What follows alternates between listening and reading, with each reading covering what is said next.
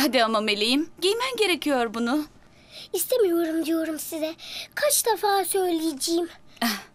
Ama böyle yaparsan baban çok üzülür. Hadi bakalım. Üzülsün.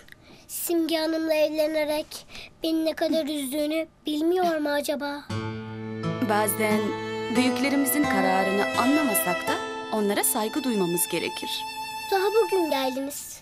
Ama bana akıl verme cüretini kendinizde buluyorsunuz. Pek tuhaf. Evet, belki bugün geldim. Ama sanki seni yıllardır tanıyormuşum gibi geliyor. Çitlenbeyim. Sen niçin hazır değilsin hala? Canım istemiyor babacığım. Öyle şey olur mu? Hadi naz yapma. Hemen hazırlan ve aşağı in.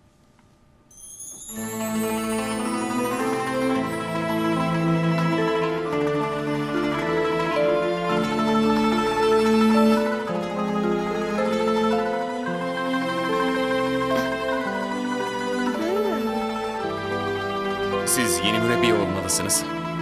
Evet, Bu ne laubalilik daha ilk günden? Yağmur neden hala hazır değil söyler misiniz? Sadece mürebbiyelik değil göreviniz. Aynı zamanda ona dadılık da yapacaksınız. hemen hazırlıyorum. Şunun kıyafetine de bakın hele. Sanki fezadan gelmiş gibi. Latife gibi. Simge, rica ederim sizinin. Ben şimdi geliyorum.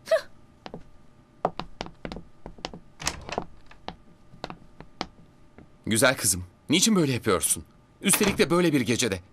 Bu gece senin herkesten evvel hazır olman icap eder. Fakat babacığım niçin beni anlamak istemiyorsunuz? O kadın fena biri.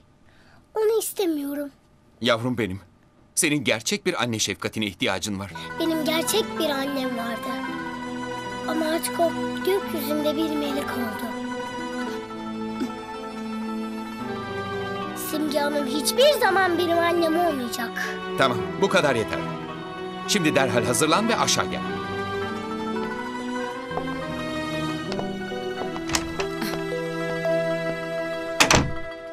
Bak, bu gece her şey yolunda gidiyormuş gibi davranırsan... ...sana söz veriyorum bu evliliğin gerçekleşmesine mani olacağım.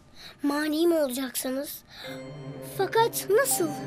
Sen işin o tarafını bana bırak. Hadi üzme artık babanı.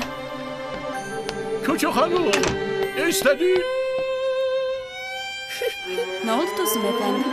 Yok bir şey. Tam da yatağına koyacağımız fareyi getirmiştim. Hay aksi. Ben gideyim. Aşağıda işim var. Neden gidiyorsun? O kutuya bakabilir miyim? Ver ver. Vermiyor.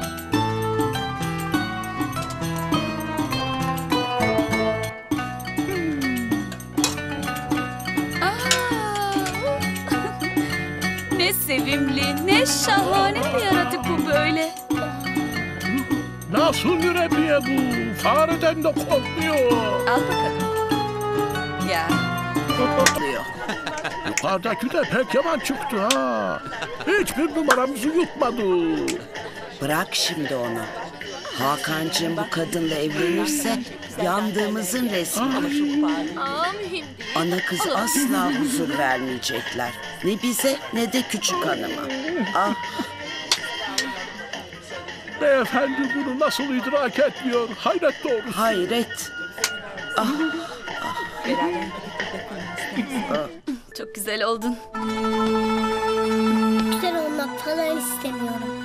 Bana verdiğiniz sözü tutacaksınız öyle değil mi? Kesinlikle. Peki ama nasıl mani olacaksınız bu izdivaca? Bana güven rica ederim. Peki siz aşağı inmeyecek misiniz? Ben şey... Bu kıyafet aşağısı için pek uygun değil sanırım. Aslında haklısınız. Yağmur, sır tutabilir misin? Küçük olduğundan bakmayın. Yaşıtlarımdan daha olgundur.